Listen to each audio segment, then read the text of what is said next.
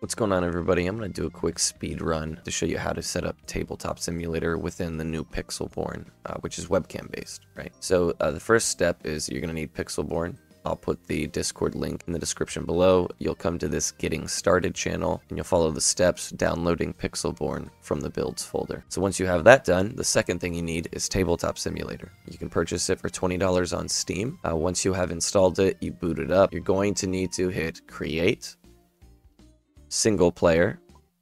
Now you're not going to have Lorcana in here. You're going to have to go to the workshop and browse. It's going to pull up the Steam community page. You can just type in Lorcana and boom, there it is. Scripted 1v1 table. That's the one you want. So you'll just, uh, yeah, you'll download that and then that will populate for you here. So you'll click Lorcana You'll click load, just going to be this standard blank table, right? So you come over here to deck importer at the top. You will um, paste your Dreamborn deck list. Uh, there we go. It's going to import for you. And from there, there are a few key steps in order to make it fit seamlessly within Pixelborn, right? You're going to greatly benefit if you have multiple monitors because what we're going to do is capture a small version of this screen and put it on a different monitor. You know, if you don't have a different monitor, you're going to have to have it constantly hovering somewhere small on this screen. And when we go to the cropping step later, it's going to make it blurry. So, um, you know, just a piece of advice. Still works, just uh, something to be mindful of. Uh, so first things first, you're going to want to type in, you're going to hit enter. You're going to hit the little squiggly to open up the system. And you're going to type in, um, you're going to type in spectator, spectator, activate with resolution 1920 by 1080 D2, negative D2.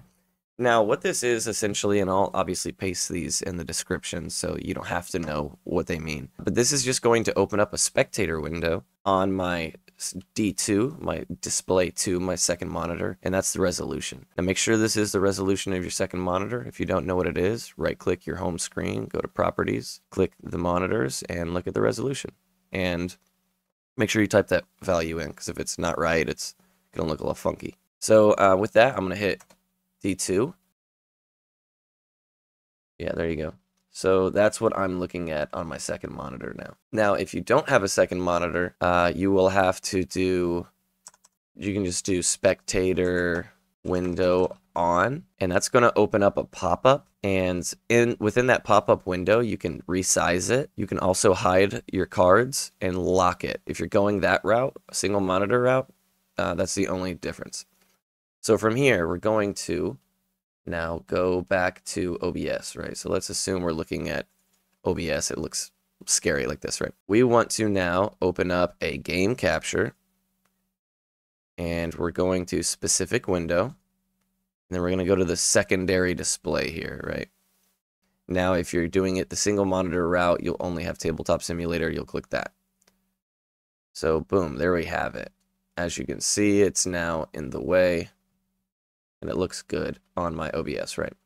So what I will do from here is simply make this as big as I can, right? And fit it. Now from there, I need to go to my player back in Tabletop Simulator and with my OBS to the left of me so that I can clearly view it. Uh, and I'm going to assume you have OBS because you've been playing a webcam And If you don't, download it, watch a YouTube video. That's its own that's its own thing. So uh, from there, we are going to come down here and adjust our view, right? Now, the reason we do this is because we can't have the opponent seeing our cards. Up arrow all the way will make the camera go top down. And from there, you can use the scroll wheel in the middle. And I'm going to aim my camera like right about there, right?